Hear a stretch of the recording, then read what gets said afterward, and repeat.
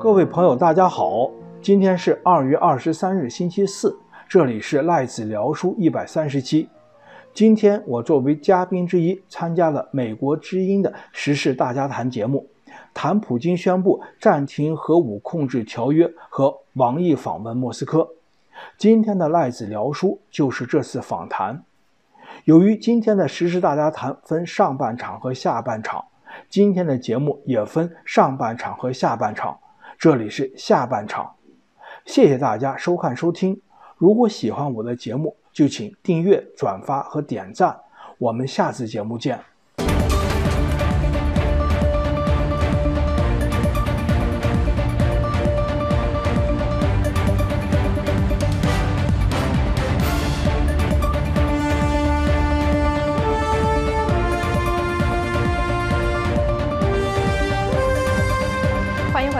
收看的是美国之音在二月二十三日为您现场直播的时事大家谈，我是平章。俄罗斯总统普京二月二十二日在莫斯科会见了到访的中共中央政治局委员、中央外事办主任王毅。普京称，俄中关系发展达到了新的境界。他称习近平是他的朋友，并表示期待习近平访问俄罗斯。同一天，北约秘书长斯托尔滕伯格表示，北约看见了一些迹象，显示中国可能计划支持俄罗斯在乌克兰的战争。此前，美国国务卿布林肯也警告说，中国政府可能正在考虑向俄罗斯提供其急需的致命性武器的援助，并且警告北京这么做会有严重后果。美国国防部也在周三做出了相同的警告。欧盟则表示，北京若军援俄罗斯，将踩到红线。而北京则否认考虑向俄罗斯提供武器。习近平是否真的会越过红线？拜登政府能否阻止中国对俄军援？我们继续来请教两位嘉宾。我们今天邀请到的两位嘉宾分别是欧洲智库欧洲亚洲研究所高级研究员张俊华博士，以及加拿大女王大学历史系兼职助理教授赖小刚博士。再次欢迎二位，也欢迎观众朋友们通过美国之音在 YouTube 的直播聊天室与我们互动，向嘉宾提问或者发表您的看法。呃，我想先从这个王毅访俄来谈起啊。我们看到普京在欢迎王毅的时候是张开了双臂，以示热情。那王毅当时就表示说，当前的。国际形势复杂严峻，但中俄关系历经国际风云考验，成熟坚韧，稳如泰山。他说：“危机和乱象虽然时常出现在我们面前，但危中有机，危可转机，这就是历史的辩证法。所以，中国到底在目前的危机当中看到了什么机遇呢？”张俊华博士，您的看法？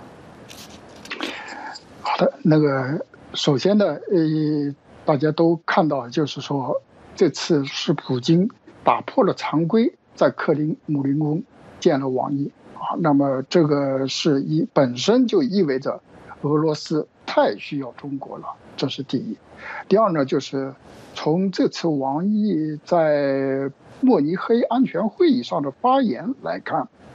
这本身就是中国对俄罗斯的政策，应该这么说，已经有了明显的转折。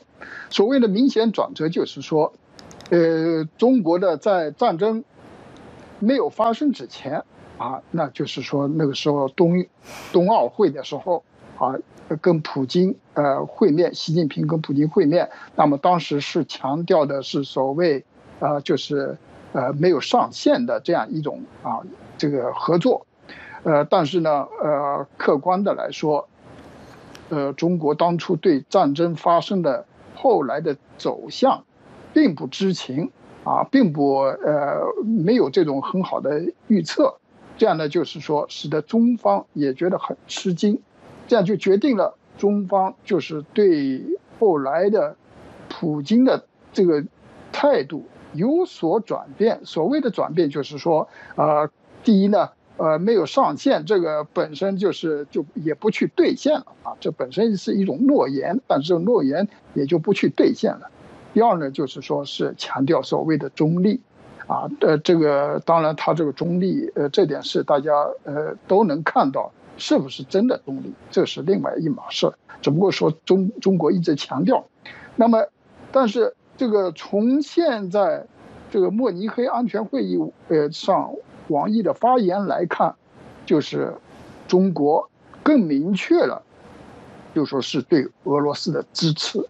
这种支持就是，尽管中国没有抛弃中所谓抛弃的这个中立的这个立场，但是，但是客观的来说，大家都明白，呃，中国是不希望看到一个更弱的俄罗斯。那么从这点来说呢，呃，这个所王毅所谓的危中有机，呃，这个危可转机，这个是呃一种这个语言的文文，呃，这个这个就。就就文字的游戏而已，这没有可以这么说，它这里没有一点的辩证法。所谓的一点辩证法，就是说，它不可能就是说是把这个危机转成啊，这个就是说是是是是是是克服这种危机的现象，它不可能。那么，但是呢，呃，王毅说的话也有一定的背，这个背景就是说，中国决定。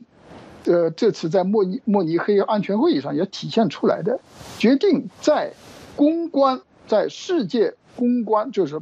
呃，这个 public relation PR 这个方面呢，就是去捞一把。那这可以这么说，呃，中国这个正好是时机捞一把的时机的时候。那么这样的就是说，把呃提出所谓的危中有机啊、危可转机的这种说法。啊，也就是说是他的公关当中的一部分，啊，也就是说表明啊，你看我们中国是准备也力图也要做一些事情。那么这个呢，就是说跟中国宣布的，在战争呃这个呃一周年时期，这个习近平要呃说是对这个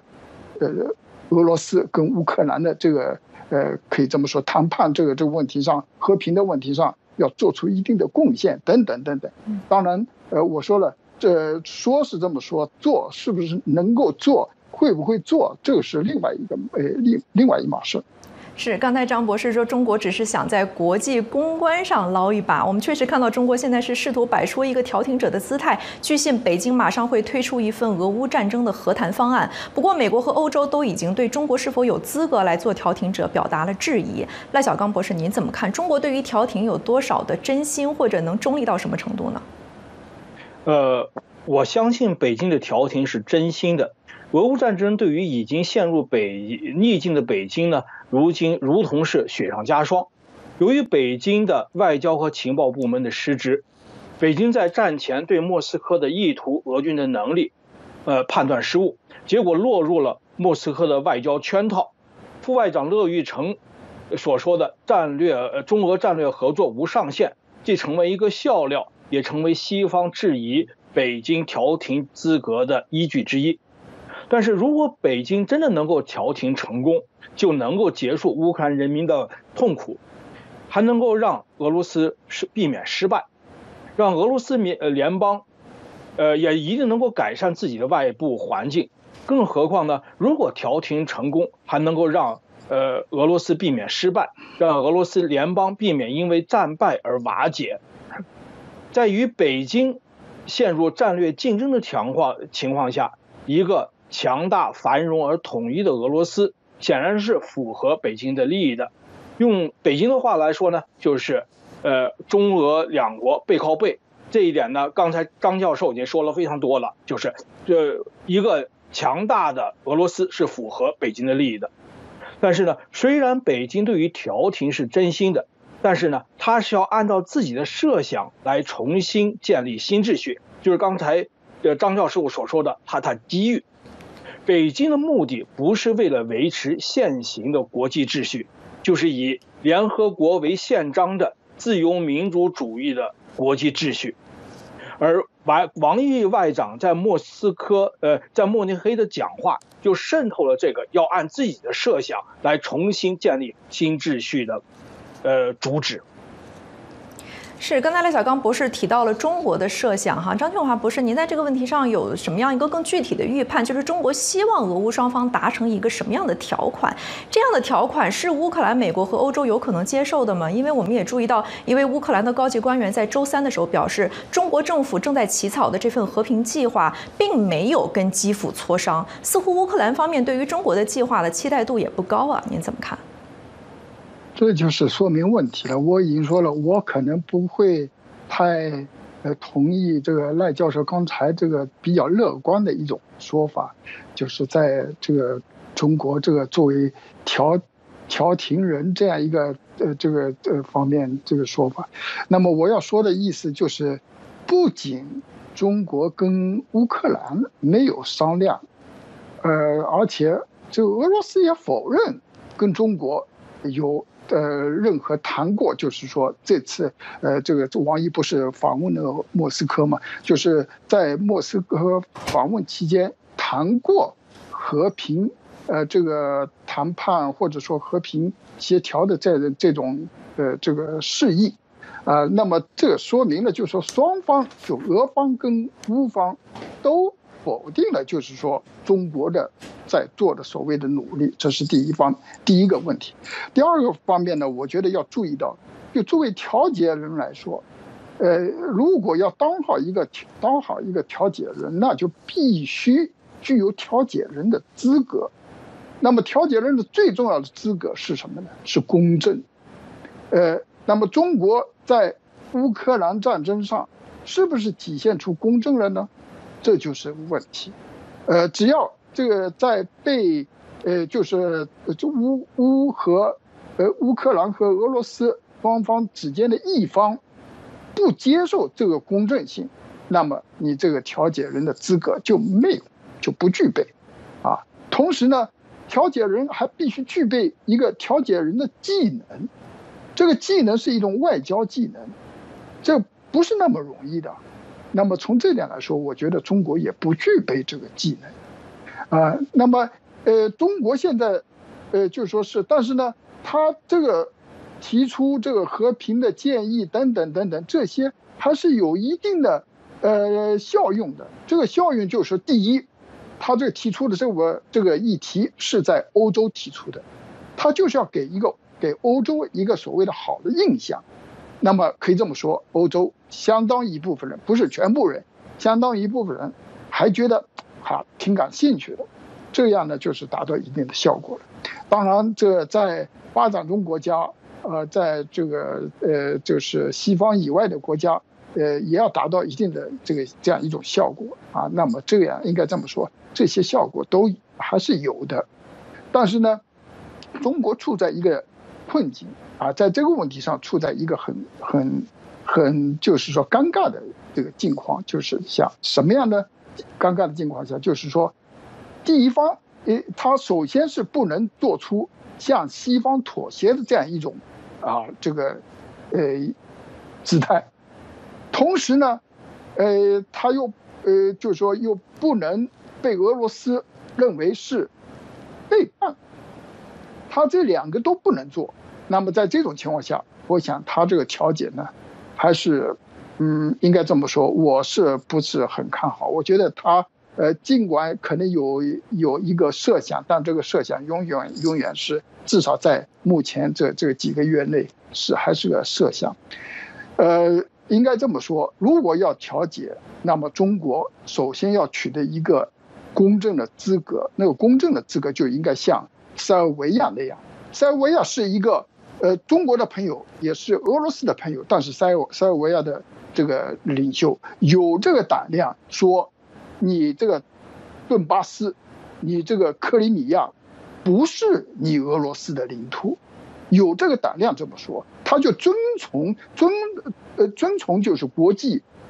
呃国际法。那么这一点来说，这是最基本的特点。那么从这点来说，中国就绝对不会有这个胆量。那么中国之所以没有这个胆量，他当然说我们要强调这个所谓的呃领土的完整啊等等等等，但是他从来从来不会把问题讲的像塞尔维亚这个那么明显那么具体。那么这里呢，就是说，实际上从这个公关角度来说，这个中国现在打出这个牌子，完全是考虑到我今后怎么来解决台湾问题。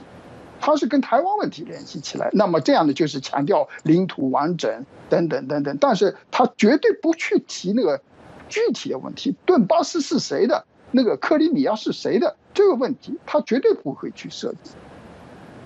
是说到这个领土问题，我看到我们有一位网友叫之前孙啊，他在 You YouTube 上给我们留言说，真正爱国的中国人应该借着俄罗斯进一步解体，把北亚的领土要回来。呃，我们还有一位网友叫 Tom Cat 啊，他说中国不傻呀，让俄罗斯倒了，下一个就是中国，所以当然得帮助呃俄罗斯啊。还有一个叫 Dog 的这个呃网友说，除非内部矛盾强大到足以影响政权，否则习近平应该是不会胡搞的。所以这些网友都觉得啊，就是现在中国在乌克兰的问题上、俄乌问题上的立场，也跟中国内部的这个情况啊，一些政治上的情况和外交上的情况是有关联的。赖小刚博士，您觉得这个面对这些中国的这种内困和这个外交上的一些难题啊，那中国有没有可能是一面的在提供和谈方案，同时一面的又在向俄罗斯提供致命性的武器援助呢？此前布林肯的警告去信是依据北方呃这个美方的一些情报，那北约也表示看到了一些迹象。您觉得有可能是什么样的情报或者迹象呢？啊，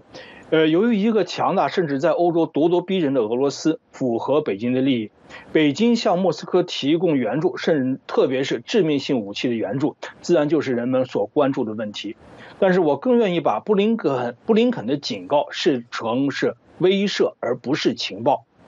布林肯的这个威慑呢，来自于美国在俄乌战争问题上在情报领域的巨大胜利。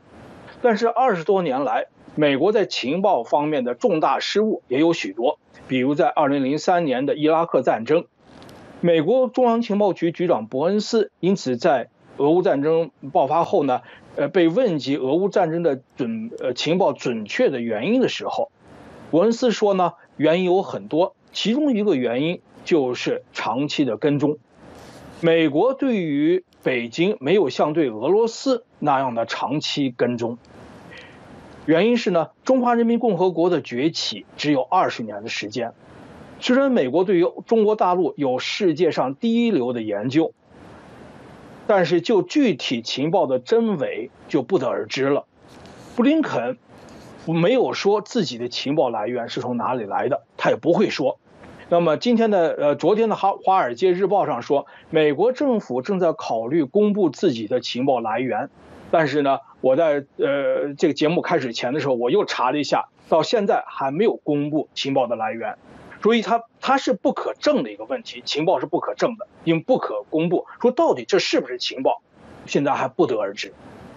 嗯，是。刚才赖小刚博士说这个不是情报，而是警告。那我们在更多的看这个美国的警告啊，布林肯在和王毅会面的时候就警告王毅说，如果中国向俄罗斯提供致命性的支支援，会面临严重的后果。布林肯没有向媒体公开说明，如果北京漠视警告的话，华盛顿究竟会施加什么样的后果？张建华博士，您觉得这个后果有可能是什么？拜登政府能出什么牌？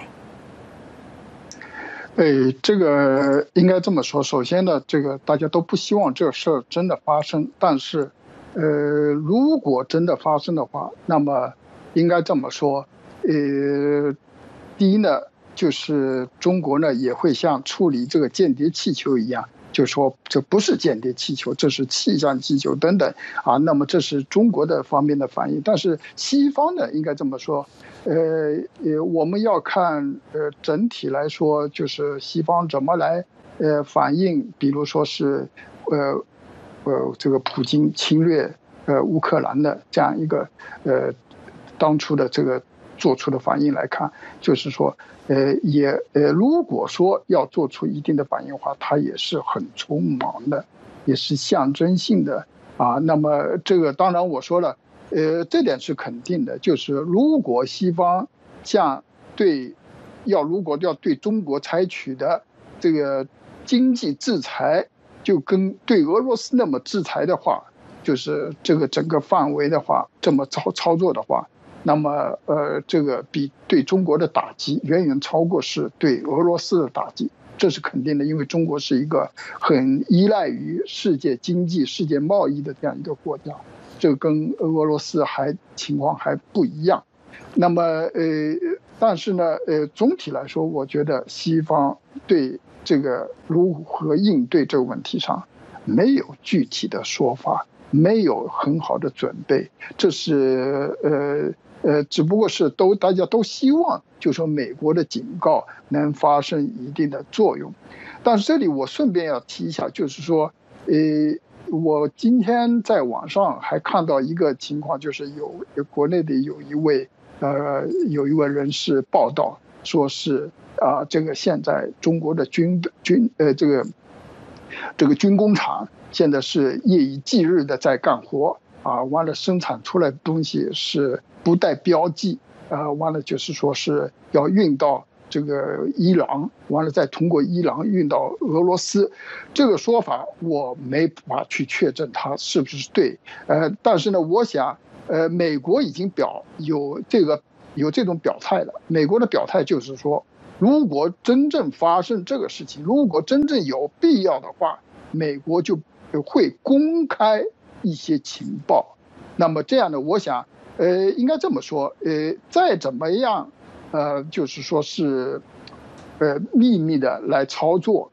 再怎么样不公开，但是呢，呃，情报系统肯定还是有自己的办法去了解到这些事情。那么，所以呢，我还是希望就是说，中方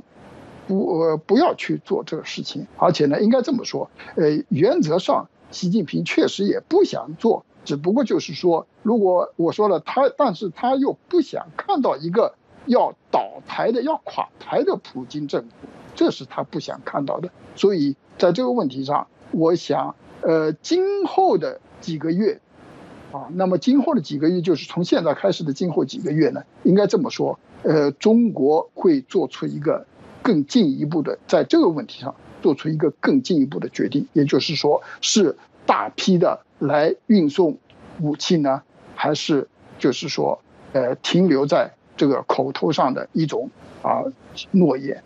嗯，我们有一位推特网友啊，叫答案，他给我们留言说，俄乌战争已经到了收尾期，各方都在为如何收尾对自己有利来寻找筹码。普京的筹码是核威慑以及中共的致命性武器的支持，民主阵营则是想要削弱中共支援这个筹码。显然，中共现在已经从旁观者逐步走到了前台，是否支援普京取决于民主阵营对中共的压力。赖小刚博士，您怎么看？您觉得民主阵营现在手里面还有哪些牌可以？打来这个阻止中共对俄军援，以及减缓中共对俄的一些非致命性的援助呢？我们还有二十牌非常，哦，这牌非常多。因为呢，中共之所以能够生存到现在，全是因为西方国家接受它，并且给它大量的技术援助。然后把这些技术援助和市场关闭之后，中共就垮掉了，它就会像以前的苏联和东欧共产党国家一样，没有什么区别。是啊，好的。由于时间的关系，我们今天只能讨论到这里了。非常感谢张俊华博士和赖小刚博士带给我们的分析。嘉宾在节目中发表的是个人观点，并不代表美国之音。明天的时事大家谈，我们将探讨普京面临战略失败，习近平仍然不离不弃老朋友。乌克兰战争这一年，中国如何给俄罗斯输血？观众朋友们也可以可以透过推特在节目开始之前与我们互动。另外，美国之音开通了电报频道，欢迎大家关注。以上就是今天时事大家谈的全部内容，感谢您的收看，再见。